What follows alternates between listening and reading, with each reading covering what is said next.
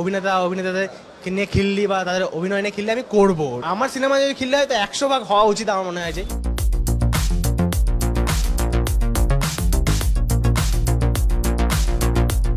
আজকের ডেটে দাঁড়িয়ে তুমি অভিনেতা, কিরণ দত্ত অভিনেতা, যদি আজকে এই ছবিটা রিলিজ হয়ে যায় এবং কিরণ দত্তের অভিনয় নিয়ে যদি কেউ মজা করে মজা করে কন্টেন্ট তৈরি করে, তাহলে কিরণ কীভাবে নেবে? আমার মনে হয় যে আমি করতাম একদম ইউজ করব না। আমার মনে হয় যে অভিনেতা, অভিনেতাদের নিয়ে খেললি বা তাদের অভিনয় নিয়ে খিল্লি আমি করব, ঠিক আছে? করতাম বলে আমি পাস্ট টেন্স ইউজ করব না কারণ প্রেজেন্ট ফিউচার ইউজ করব। কারণ ওটা আমার কন্টেন্ট আমার মনে হয় যে মজার ছলে করি আমার যা করি। যেমন দেবদাস জল খিল্লি করেছি দেবদার সাথে পরে ভিডিও করেছি শ্রীত মুখার্জির আমি খিল্লি করেছি শ্রীত মুখার্জির সাথে পরে ভিডিও করেছি। এবং আরেকজনের নাম মিস হয়ে গেছে। মানে যেটা নিয়ে অনেক বেশি কন্ট্রোভার্সি তৈরি হয়েছিল অঙ্কুশের সাথে সিনেমা করা তো হয়নি। মানে ওই সুযোগ আসলে কি করবে? সেইটা আমার মনে হয় যে সেইটা তো ওই যে বললাম রোস্টিংটা তো মজার ছলে করা কারোর প্রতি রাগের বা সেরকম রাগ থেকে রোস্টিং করা না বা কারোর সিরিয়াস কোনো ঝামেলা হয় না। ওই একটা হয়তো ইন্ডাস্ট্রিতে যেটা আমার সিরিয়াস ঝামেলা, যেটার সাথে খিল্লি মানে যেটা আমি বলতে পারব না জাস্ট মজার জন্য করেছি দাদা, সেটা আমি বলতে পারব না, সেটা যথেষ্ট সিরিয়াস জায়গায় চলে গেছিল।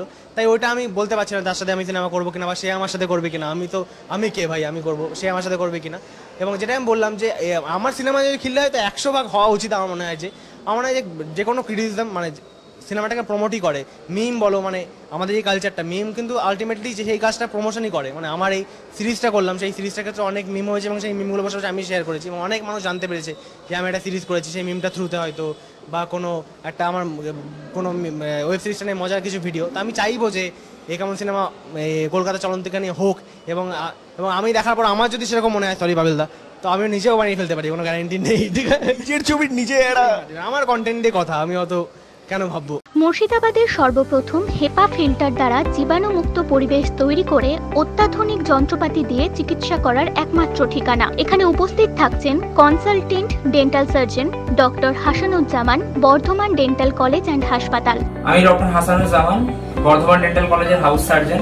এখানে এক্সট্রেশন থেকে শুরু করে crown bridge filling scaling root planning উঁচু নিচু দাঁত সোজা করা স্থায়ী দাঁত বাঁধানো, অস্থায়ী দাঁত বাঁধানো এবং বাচ্চাদের সমস্ত রকমের দাঁতের সমস্যার অত্যন্ত যত্ন সহকারে সমাধান করা হয়।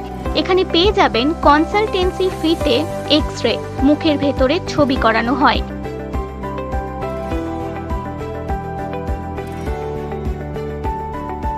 আমাদের ঠিকানা sixteen by one G by three Swarnamoyee road, Ukilpara, Baharampur, Murshidabad. বারো বিঘা কবরস্থানের নিকটে কিওর ওয়ার্ল্ড মেডিসিন শপের পাশে। Phone number seven five five one zero one zero five two zero অথবা nine zero six four five three five double zero nine